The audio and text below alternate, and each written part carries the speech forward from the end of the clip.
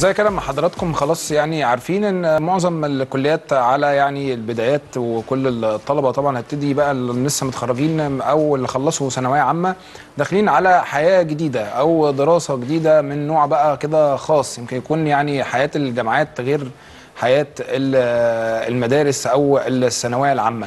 ممكن يكون كمان في الدراسة الجامعية في حاجات كتير بقت دلوقتي مقدمة وحاجات حديثة إن إحنا بنقدمها هنا في مصر خصوصا في جامعاتنا إن هو إزاي بتأهل الطالب لسوق العمل وإزاي تقدر تأهله للتخطيط من خلال الدراسة إن هو يكون عارف كل سنة إيه التخطيط وإيه المناهج اللي يتبعها وإيه أنسب الطرق اللي هو يقدر يتبعها وإحنا علشان نتكلم مع حضراتكم أكتر في التفاصيل دي ضيفنا النهارده دكتور أحمد فاروق إلياس عضو هيئة تدريس إدارة الأعمال بكلية تجارة بني سويف نرحب بيه مع حضراتكم ازيك يا دكتور أهلا بيك يا شريف عامل إيه؟ منورنا. يا أحمد منور يا دكتور والله. مبسوط إن دي تاني مرة في البرنامج الشباب الجميل منورنا بتاعكم وقدامك يعني. شرفنا وجودك الله يخليك. الله يخليك دكتور في البداية كده طبعا يعني أنا في الأول عايز أتكلم عن حاجة لما لما طبعا اتشرفت بالزيارة لجامعة بني سويف آه، في في الاحتفالية اللي كنت عاملينها. برضو كانت بصدد موضوع آه، التأهيل الشباب صحيح. لسوق العمل. وشفت بصراحة مجهود من الدكاترة والأساتذة إن أنتم مش بس عاملين لهم آه، احتفالية أو حاجة بتعرفوهم فيها على سوق العمل ده أنتوا جايبين لهم كمان مثلا رجال أعمال صحيح. بيتكلموا عن ال... وناس برضو بتتكلم في إدارة الأعمال وبتوعوهم بشكل كبير جدا مش بس دراسه الموضوع مش مش دراسة وورق وقلم. والكلام ده كله طيب الخطة بتاعت آه، الجامعة بتاع بني سويف أو حضرتك في الموضوع ده بدأت إزاي وبتبقى عاملة إزاي مع الطلبة إحنا زي ما انت شفت كده الحمد لله يعني شفت على الواقع موضوع المنهج القديم في ان كان في فجوة بين الدكتور والطالب آه. القصة دي انتهت خالص في الفترة الأخيرة.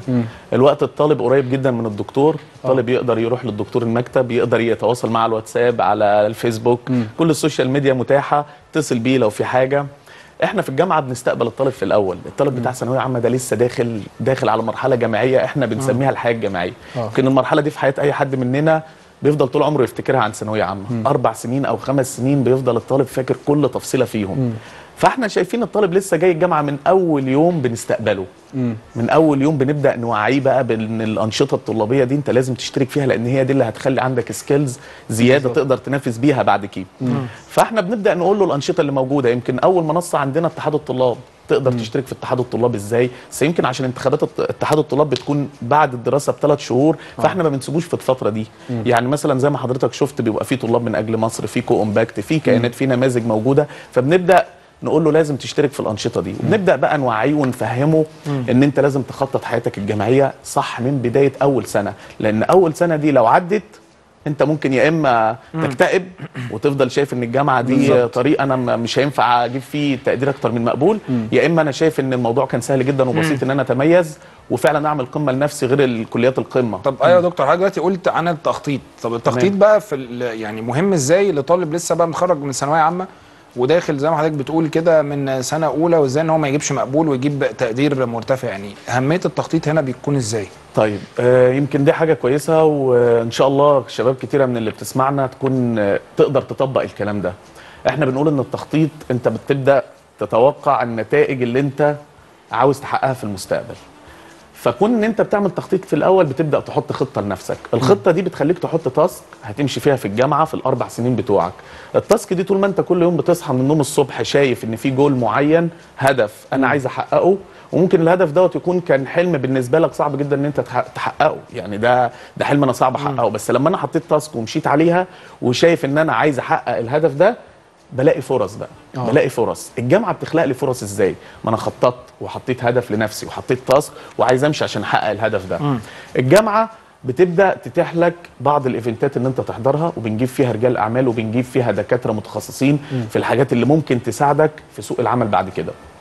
يمكن إحنا بنقول دايما للطلبة نظم وقتك في الجامعة. الجامعة بالذات لازم تكون منظم وقتك فيها. ليه؟ لأن خلي بالك أنت في ثانوية عامة والجامعة هنا في حرية شديده جدا ليك. في حرية في إن أنت تنظم وقتك. في حرية إن أنت تختار علاقاتك جوه الجامعة. بالظبط. في حرية في تحملك للمخاطر. أنت مسؤول عن نفسك. فبنبدأ نقول له أول حاجة أول حاجة وأنا يعني بدقق عليها كل مرة للطلبة اللي داخلة جديدة محاضرتك. ثم محاضرتك ثم محاضرتك. لازم تحضر المحاضرة بتاعتك. ما هو أنت هتستفاد إزاي؟ بالظبط. فتلاقي طالب يمكن بقول لهم ما تسمعوش كلام المحبطين حد في سنة ثالثه أو رابعة هو كانت حدوده دي ما بيحضرش محاضرة. فبيقعد على الكافيتيريا فخلاص هو فرحان جدا بالمقبول فما يجيش يقول لك أنا ه... لا أنت مهما تذاكر أنت مهما تعمل هو أنا هديك الفولة. يعني بيبقى هو الخبير. أيوه. الطالب الخبير ده أنا هدي هديك لك الفولة بقى الزيتونه بقى. والزيتونه ليلة الامتحان بقى. كان نفع نفسه بقى فاهم؟ تمام كان نفع هي دي نفسه. حدود م- قدراته. ما هو زي ما أنا أقول لك آه، آه، أنا نفسي أبطل سجاير. فتقول لي لا أنا أنت عمرك ما تبطل سجاير. خلاص. دي حدود قدراتك أنت مش حدود قدراتي أنا. فأنت وأنت بتخطط لنفسك صح أنت بتبدأ تحط ساعات ال- المذاكرة بتاعتك قد إيه؟ ساعات النوم بتاعتك قد إيه؟ ساعات المحاضرات بتاعتك قد إيه؟ ساعات وقت الترفيه بتاعك قد إيه؟ يمكن الموضوع المهم جدا ساعات العمل. هل أبدأ أحطها في البداية ولا لأ؟ ولا أسيبها شوية؟ هل أنا هشتغل أثناء الدراسة ولا لأ؟ ولكن أنت لما تحط خطة لنفسك صح تحضر محاضراتك بتروح تذاكرها تعمل ملخص لنفسك بين اللي قاله الدكتور وبين اللي مكتوب في الكتاب هو الملخص ده اللي هتيجي ليله الامتحان تذاكره. ما تخليش حد تاني يفرض عليك رأيه. ال- الحاجة العب. إحنا دايما بننصح الطلاب إن في ساعات مكتبية للدكاترة. الساعات المكتبية أنت ممكن تروح للدكتور وتستشيره في كل حاجة في المنهج. ممكن تستشيره في حاجات شخصية ليك. زي ما حضرتك شفت كده موجودة في الجامعة الدكاترة والمعيدين وأعضاء التدريس كلهم على اتم الاستعداد إن هم يتناقشوا معاك في حل المشاكل. فبالتالي بيبقى الفجوة اللي بين الطالب والدكتور دي مش موجودة. فأنت لازم تقرب من الدكتور أو المعيد اللي عندك عشان تبدأ تعرف أكتر عن الجامعة بتاعتك. فأنت وأنت بتحط الخطة بتاعتك دي أنا عايز أجيب امتياز. الامتياز ده هجيبه إزاي؟ بواحد اثنين ثلاثة أربعة خمسة. كل يوم تصحى من النوم تبص عليهم. ومش شرط إن أنت تدخل سنة أولى. على فكرة ممكن في طالب بيدخل سنة أولى بيجيب مقبول. ما هو إحنا لو هنقول إن مقبول دي فشل بالنسبة لك أي فشل بعدين نجاح ما أنت اتعلمت من مقبول بالظبط. الأول. هتعلي بقى في اللي جاي. هتلاقي هتعلي واحد. هيقول لك آه، لا أنت جبت مقبول خلاص هتفضل تجيب مقبول. اطلاقا. أنا كنت جايب جيد في سنة أولى. يعني أنا نفسي يمكن طلعت الأول على الكلية في آخر سنة بس كنت جايب جيد في سنة أولى. جبت امتياز بعد كده وكملت وطلعت من الأوائل فأنا بقول إن سنة أولى مش مقياس ليك بس صح. على الأقل تعمل الحد الأدنى اللي مطلوب منك برضه يا دكتور بيبقى سنة أولى دي بيبقى فيها تخبطات جداً. لسه الناس مش عارفة آه ت- يعني إيه جامعة ما. هو بيبقى فعلا زي ما أنت يعني حضرتك تكرمت وقلت إن مثلا الواحد بيبقى خارج من ثانوي ثانوي بيبقى الموضوع والستايل بتاع مختلف الحياة مختلف تماماً. خالص وعندك ضغط أهلك في البيت ذاكر والكلام ده كله لكن أنت بيبقى عندك حرية أكتر جداً. فبتبقى متخبط تخبط كبير بس عايز أسأل حضرتك دلوقتي على موضوع آه الشغل مع الدراسة. تمام. النهارده الطالب برضه محتاج إن هو ما يحملش عبء الدراسة أو يحب يحمل عبء حياته لأهله طول الوقت كفاية اللي حصل مثلا في ثانوي أو السنين اللي فاتوا كلها من دراسه فبيضطر إن هو طبعا لازم ينزل يشتغل. فهل مثلا ده بيبقى عائق للدراسة ولا ممكن يكون حافز؟ آه، يمكن ال- الجزئية دي جميلة جدا لأن في طلبة كتير جدا حد يقول له لا ما تشتغلش أثناء الدراسة لا اشتغل. مبدئيا هنقعد نقول شخصيتك أنت وحدود قدراتك إيه. آه. ولكن على فكرة في مجتمعات أوروبا كلها الطالب بيشتغل أثناء الدراسة. والدولة يمكن أحيانا بتوفر له ساعتين لأربع ساعات عمل موجودين. عندنا هنا في مصر موجود بالفعل تدريبات بتتم أثناء الدراسة والتدريبات دي بيكون عليها مقابل مادي بسيط. ولكن هنيجي نتكلم عن الطالب اللي هو عايز يروح يشتغل أثناء الدراسة. أول حاجة الشغل مش عيب بالعكس لازم تشتغل أثناء الدراسة. عارف ده بيعمل إيه بقى؟ ده بيخليك تنزل تشوف اللي موجود في الكتاب اللي أنت درسته واللي موجود في الواقع. على أرض الواقع. بالتالي أنت بتفرق عن واحد تاني ما اشتغلش إن أنت خبرتك بالظبط. كسبت خبرة. هتخلي الشركات والبنوك والمستشفيات في ايا في تخصصه بيجري كده يخطفك. ليه؟ لأن أنت اشتغلت خلال الأربع سنين فطلعت متميز عن الطالب التاني. سن صغير وصاحب خبرة آه، بقى أربع سنين على الأقل ده, كفاية ودراسة. جدا ال soft skills اللي هتتعلمها. كفاية جدا مهارات التفاوض والتواصل وحل المشكلات واتخاذ القرار. ده غير الجزء المادي. إن أنا طبعا الوقت والدي ووالدتي ساعدوني بما فيه الكفاية في ثانوية عامة. يعني هنقول بقى كم كمية الكورسات والدروس طبعاً. والكتب والملازم والمراجع اللي كانت بتتجاب. طب جينا بقى لسنة أولى كلية خلاص بقى.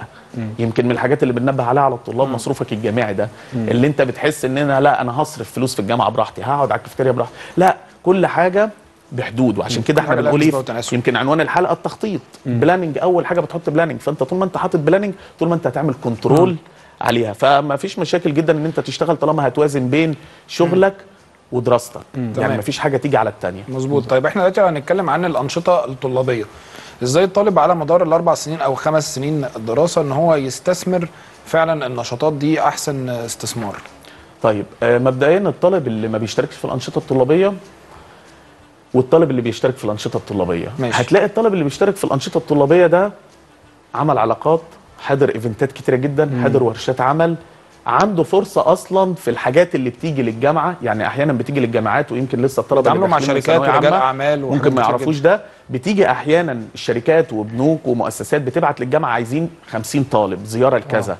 مين اللي بنختاره؟ هل بنختار الطالب اللي اللي هو قاعد ما بيعملش حاجة في الجامعة؟ أكيد اللي متشاف. وبيتحرك في الأنشطة ده النشاط. الطلابي ده يا أستاذ أحمد أنت متخيل الطالب بيصحى من النوم الصبح أنا بكلفه النهارده في event عن كذا هنستضيف مثلا سين من الناس هو مسؤول عن كل حاجة بينظم ال event بيدعو زمايله الطلاب بيبقى leader ليهم بيبقى قائد ليهم بيبقى نفسه نهاية اليوم يجي ويبقى سعيد جدا إن. اليوم نجاح- نجاحه. كويس نجاح، آه. عنده علاقات عامة بيظبط معاهم عنده الفريق الاجتماعي بيظبط معاه عنده ال social media بيظبط معاها. انه بيستقبل كان لسه عندنا الدكتور ايمن عاشور وزير التعليم العالي. الطلبة هي اللي استقبلت ال event وهي طلاب من أجل مصر واتحاد الطلبة. هم اللي عملوا ال event خالص واستقبلوا الوزير واستقبلوا الحرس اللي موجود. كل حاجة. بس دكتور أنا عايزك آه، عايز أسألك سؤال. هل بيبقى فيه توجه من إدارة الجامعة أو الكلية تمام.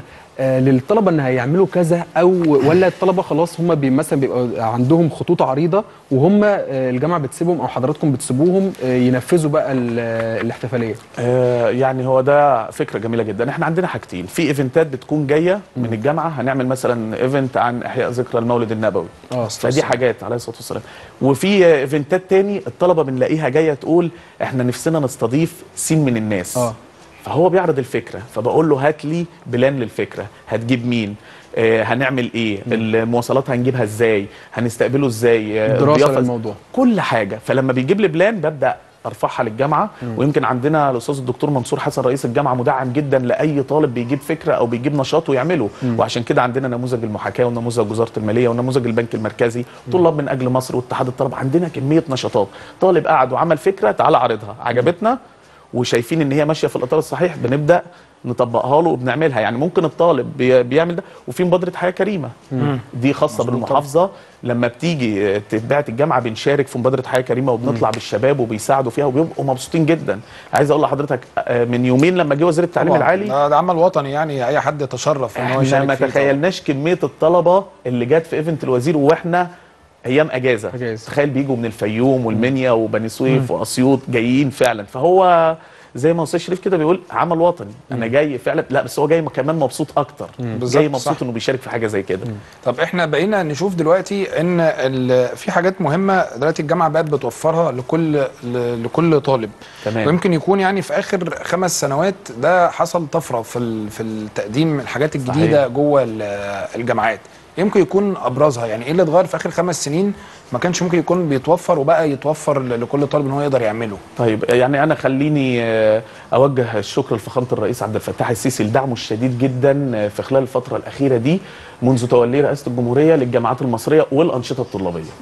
يمكن لو هنعد حاجات كتيرة جدا حصلت كنا إحنا نفسنا وإحنا طلبة مش موجودة هنقعد مثلا حلقتين ثلاثة فيها. يمكن أذكر باختصار الحاجات اللي الطالب فعلا لمسها. أول حاجة بنك المعرفة. ودار المنظومة و Science Direct وال Emerald وكل قواعد البيانات العالمية اللي ما كانتش متاحة إلا بفلوس وبالدولار.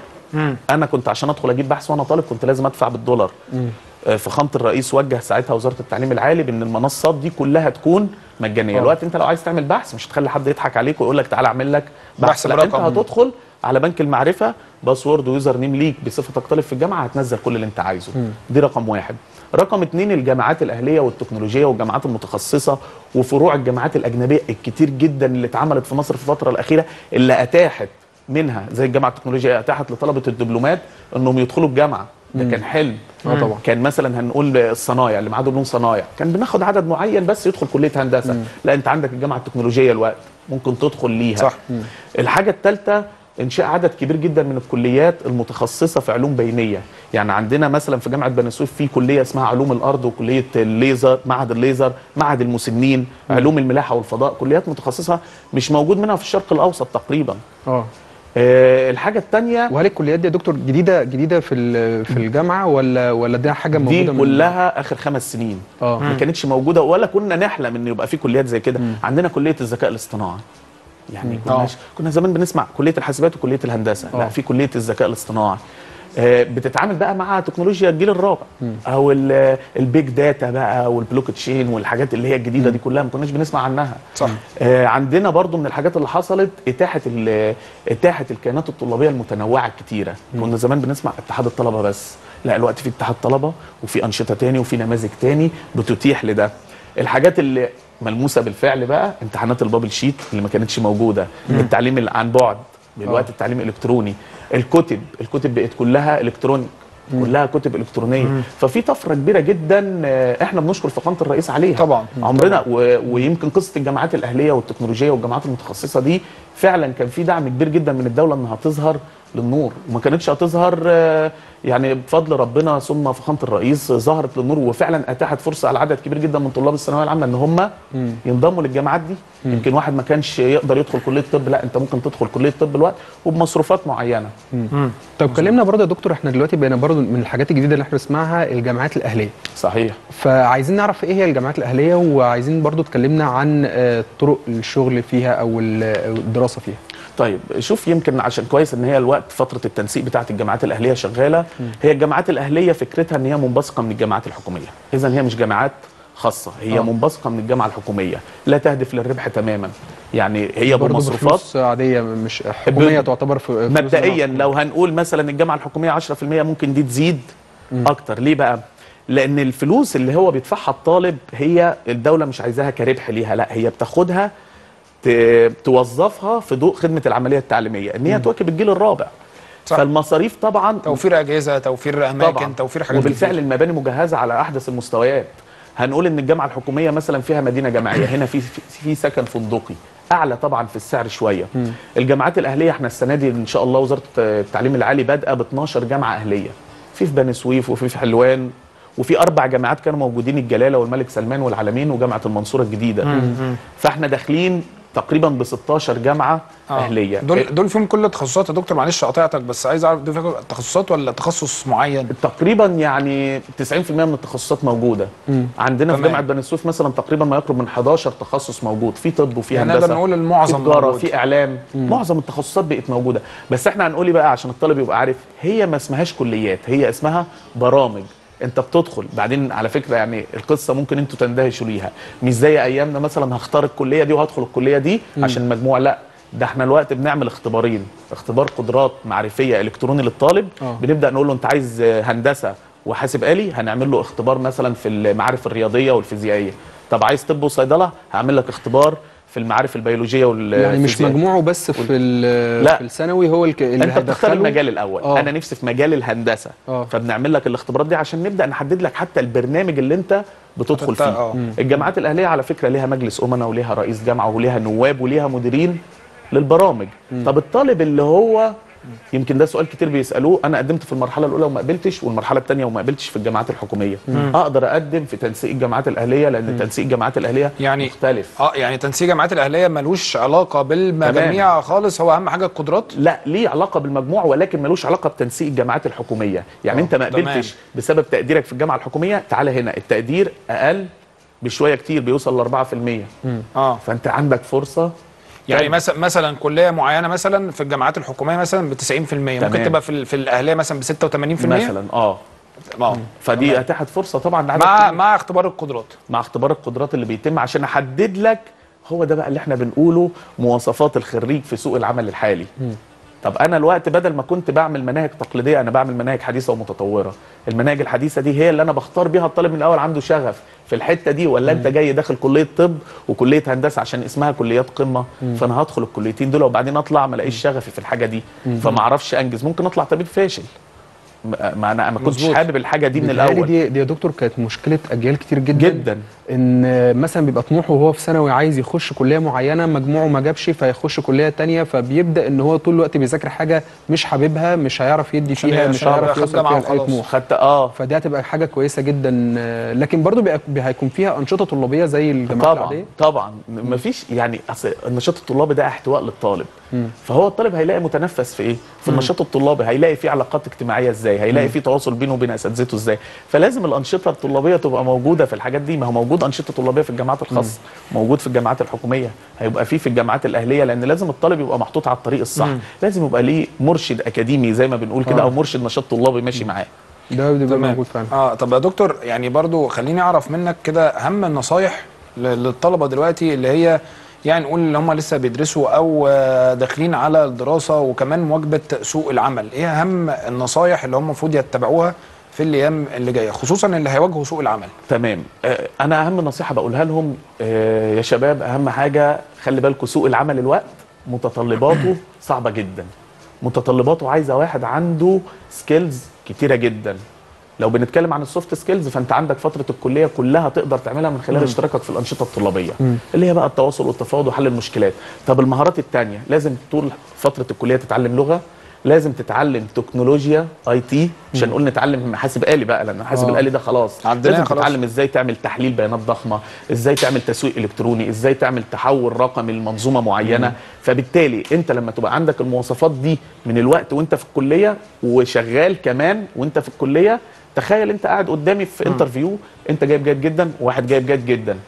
مين اللي عنده ال skills بقى؟ مين اللي عنده ال skills الأكتر؟ مين اللي ال CV بتاعه مليان؟ مين اللي مش هيتعبني؟ زي ما بنقولها كده بقى مين اللي مش هيتعبني؟ مين اللي. جاي جاهز أو نص جاهز على الأقل؟ واتعلم لأن إحنا زي ما آه. بنقول إن الحاجات ال theoretical أو الحاجات النظري غير الحاجات العملي. صح. فأنت نزلت واشتغلت عملي مش لازم تقول لي إن أنا طالع بجيد جدا أو بجيد فأنا أشطر من واحد جايب مقبول. ما هو ممكن يكون التاني ده اشتغل. بتاعته. فلازم كلنا نشتغل طول فترة الدراسة على نفسنا عشان نطلع متميزين عن الألف واحد اللي هيتخرجوا معايا. أنا عايز أسبق واتعين قبله. فبالتالي سوق العمل الوقت بيتطلب من حضرتك إن أنت تشتغل على نفسك كتير.